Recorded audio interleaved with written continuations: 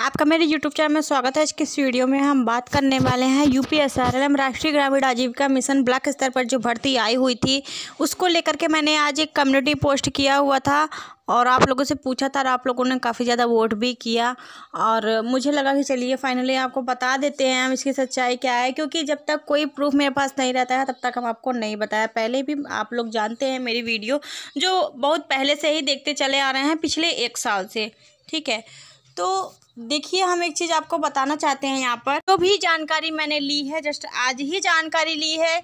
और हम ब्लॉक भी गए थे क्योंकि ब्लॉक स्तर की भर्ती है तो ब्लॉक भी गए थे। वहाँ से भी ये सब सूचनाएँ मिली हैं मुझे, जो हम आपको आगे वीडियो में बताने वाले हैं।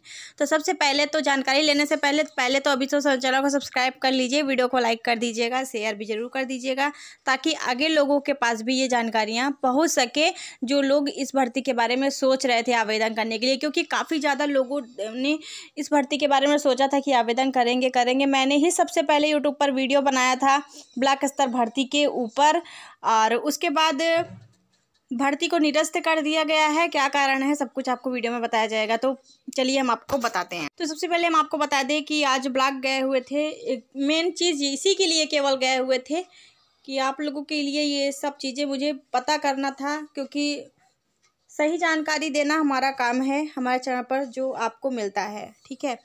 और मैंने खुद बीएमएम से बात किया है, खुद बीएमएम से ही पता किया है इस वैकेंसी के बारे में, क्या ये वैकेंसी रद्द कर दी गई है? अगर कर दी गई है तो क्यों रद्द कर दी गई है? ये भी हम आपको बता रहे हैं।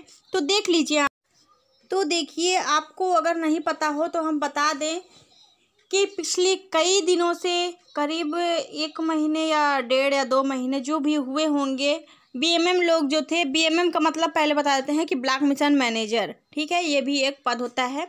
और उसके बाद इसी के, इन्हीं के अंडर में ये जो समूह बनाए जाते हैं तो यही अधिकारी लोग बनवाते हैं, ठीक है? तो बीएमएम लोगों ने ये धरना दिया था इस वैकेंसी को आने के बाद। जब ये वैकेंसी आने वाली हो गई, जब उनको पता चला कि एक वैकेंसी आ जाएगी तो मेरी नौकरी खतरे में पड़ जाएगी, ठीक है? तो बीएमएम की नौकरी खतरे में पड़ जाती, क्योंकि बीएमएम को उस पद से हटा दिया जाता फिर, उसको हटा करके फिर ये नौकरी दी जा रही थी, ठीक है? इसी वजह से बीएमएम लोग धरने पे आ गए। राज्य स्तर के लोग भी, ज़िले स्तर के लोग भी और ब्लॉक स्तर के लोग भी बहुत ज़्यादा परेशान हो गए, हलचल मच गई। तो उसके बाद काफ़ी दिनों से धरना चल रहा था। मुझे इसके बारे में सूचना मिली थी हालाँकि तो इसमें हम आपको क्या बताया कि धरना चल रहा है और मुझे ये पता था कि धरना चल रहा है, किस बात पर धरना हो रहा था, ये मुझे जानकारी नहीं थी। लेकिन हाँ फाइनली बीएमएम से ही बात करके पता चला है कि हाँ इसीलिए धरना हो रहा था कि ये वैकेंसी को कैंसिल कराना था और उनकी सैलरी जो थी, उसको भी बढ़वाना था, ठीक है? सैलरी उनको कम मिल रही थी, उस सैलरी काफ़ी ज़्यादा कम मिल रही थी, इस वजह से भी वो धरना दे रहे थे। अब ये भर्ती को रद्द कर दिया गया है और हाँ जब नोटिफिकेशन इसका आया हुआ था तो ये बात बताई गई थी कि कभी भी इस भर्ती को रद्द किया जा सकता है। तो फाइनली इस भर्ती को रद्द कर दिया गया है। क्या मतलब है? क्या लेना देना है आप लोगों को? और जिन लोगों को इस भर्ती का इंतज़ार था, वो उन लोगों को तो काफ़ी ज़्यादा दुख हुआ होगा। काफ़ी ज़्यादा लोगों ने आवेदन भी कर दिए होंगे। कोई बात नहीं, जाने दीजिए। आगे और भी वैकेंसियाँ आएँगी। आप लोगों को बताया जाएगा हमारे चैनल के माध्यम से। और उसके बाद क्या किसी को पता ये थोड़ी था कि इस तरह से हो जाएगा? चलिए, कोई बात नहीं कैंसिल हो गई तो कैंसिल हो गई।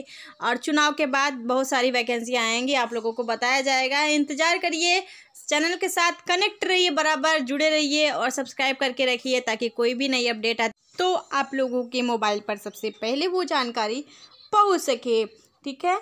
एक बार फिर से बता दे रहे हैं, इस भर्ती को रद्द कर दिया गया है। अब ये भर्ती नहीं होगी, चाहे ब्लॉक स्तर की हो, चाहे जिला स्तर की हो, चाहे राज्य स्तर की हो। तीनों स्तर की इसमें भर्तियाँ थी U P S R L M में, ठीक है? तो ये भर्ती नहीं होगी। और आई होप आप सभी को समझ में आ गया होगा। मिलते हैं अगले वीडियो में डिज़ाइन के साथ। Thank you